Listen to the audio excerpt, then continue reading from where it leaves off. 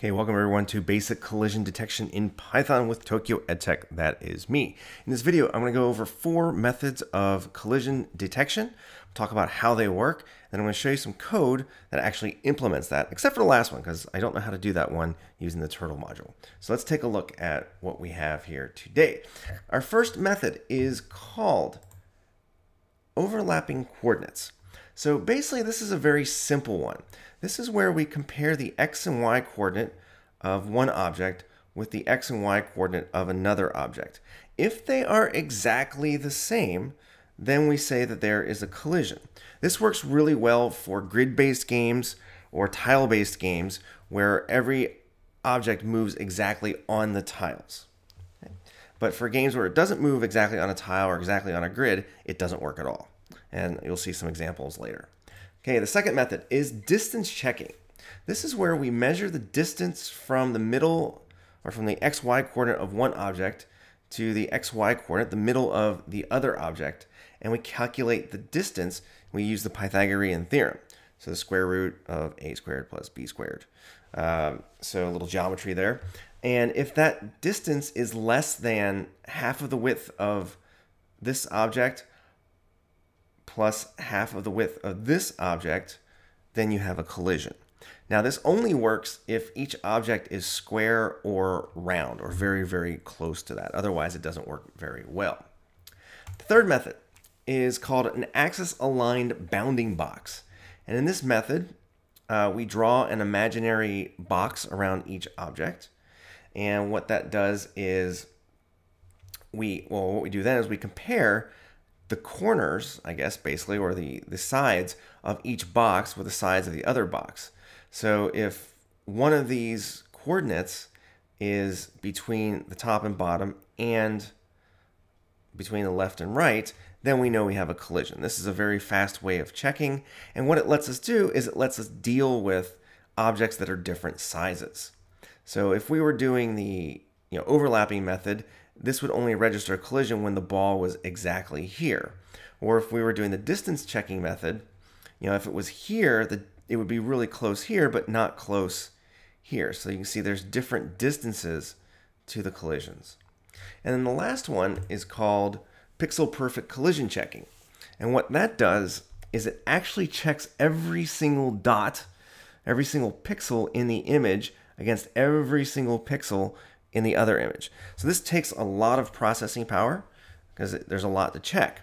Um, but you can see here it's more accurate than say the axis aligned bounding box because you can see here this would be a collision if you're using AABB, axis aligned bounding box collisions, because you can see here there's an overlap of these boxes. Now, but you can also see that they're not actually touching. So depending on the speed of your game and how close or how big the objects are, this might be really noticeable or it might not be noticeable. Okay, so let's take a look at some code to do at least the first three. And before I get to that, let me give a big shout out to my very first three 16-bit members of my channel. Um, Kevin was first, Paul was second, and joining them is Jan. Thank you so much. So if you're interested in supporting the channel more directly, please consider joining and becoming a member down below. So what I have here is a very simple program that has some images and it has three different methods of determining a collision. You can see we've got the overlapping collision. And this is where, again, we take the x-coordinate of one object, compare it to the x-coordinate of the other. And if that's the same, and the y-coordinate of one object is the same as the y-coordinate of the other object, we return true because this tells us we have a collision. Otherwise, we return false. The distance method, as I mentioned earlier, is where we take the square of the difference in x plus the square of the distance difference in distance in y, and then we take the square root. So this is, again, the Pythagorean theorem. So a squared plus b squared equals c squared. Take the square root of each side. I won't bore you with the math, but that's basically how it works. And then how I did it here is if that distance is less than the width of one plus the width of the other divided by 2, that's half of each width, that tells us that they are they, they have collided. And then the last one is axis aligned bounding box. Now, I'll be perfectly honest, I don't quite understand this math. Um, I found this on Stack Overflow. I'll see if I can find a link again and, and put that down below. But if not, search Stack Overflow. And basically, you're checking for an X collision, and you're using the math module. So you subtract, multiply by 2, do the absolute value, check is that less than the, the width of the two objects, and then you do the same thing with the y. Again, I don't quite understand it, kind of get it, but don't quite understand it. And then you return x collision and y collision. So if x collision is true and y collision is true, then you have a full collision. Um, yeah, it's pretty cool actually. Uh, so yeah, that's AABB collision. So I've got a little, I got some code here that's going to test that.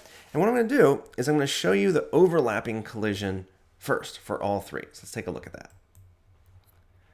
Okay, so you can see here, I've got a wizard and a goblin. I've got a Pac-Man and a cherry. I got a ball and a paddle. I just called it a bar in my code. So I'm going to go ahead and move the goblin to the left. Okay, and now the, this was at 128, negative 128. And the goblin is moving minus 64 pixels each time. So what will happen is it will exactly overlap at some point.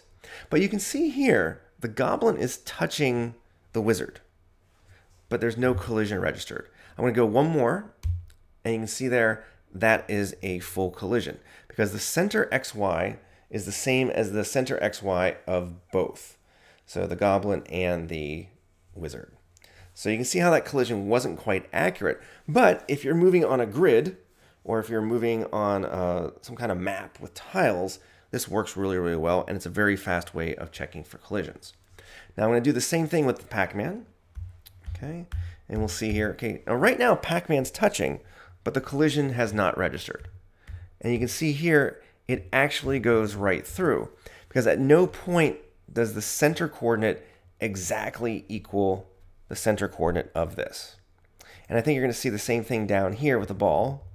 Ball moves, and it's very close to the center, but not quite, and it goes right through. So the overlapping coordinate method only works really well if you are on a grid system where everything moves the exact same number of pixels. So it's useful in certain situations, but not in others. Okay, so I'm going to go ahead and change this to distance collision. And actually, let's go ahead and just copy that. Okay, so now I'm going to do all three again with the distance collision. And so let's try the goblin again. So we're going to be measuring the distance. Now this one's not going to be too bad, I think. So you can see how the collision happened, even though the goblin is not very, you know, on the center on top of the, the wizard. Let's do the same thing with Pac-Man. Okay, and you see that worked pretty well as well, so it's not too, too bad. Now let's take a look here at the ball. Now this one is where we're going to see that it's not going to work so well. And the reason is that the width of this paddle is much wider than it is tall. So watch this. Okay, so even though the ball was here, I still registered a collision uh, because I was using the width as my measurement. Okay, so, but you know, you just kind of intuitively see if the ball is over here, the distance to the center is much greater than the distance to the center here. So there's no consistent distance that we can use to find a collision with something that is this different in dimensions. Okay. And for the last one, we'll do the AABB, the axis aligned bounding box. Um, AABB. And let's run it. Okay, so again, this is AABB, and let's watch that. And that one works pretty well uh, for these objects. Again, these are objects that are roughly the same size. Okay, you see it didn't, Pac-Man didn't trigger the collision.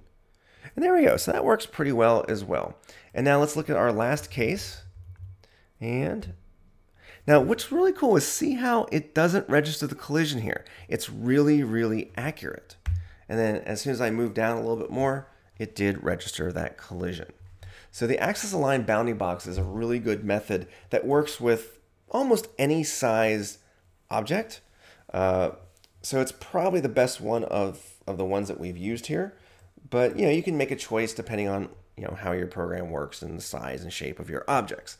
Um, again, I didn't do the the fourth method, which was uh, you know pixel perfect, just because the coding is really difficult for that, and actually the Turtle module doesn't give you the tools you need to do that. So I'm sorry about that. And I can't I can't actually do it. There, it doesn't as far as I know, there's no way to do it with just the turtle module.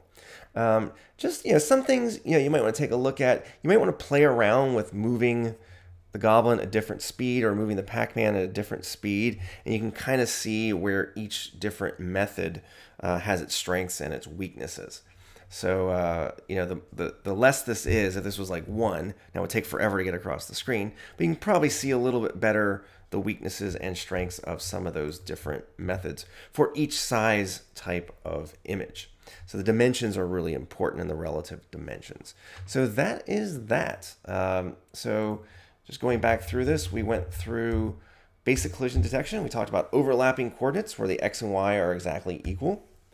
Distance checking, where we measure the distance between the center using the Pythagorean theorem. The axis aligned bounding box, which is probably the best one to use. That's at least pretty fast.